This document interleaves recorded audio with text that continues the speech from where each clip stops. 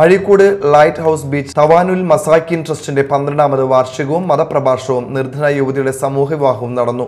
Benny Behanan M P ഉദ്ഘാടനം ചെയ്തു. C P S Swalih മുഖ്യാതിഥിയായിരുന്നു.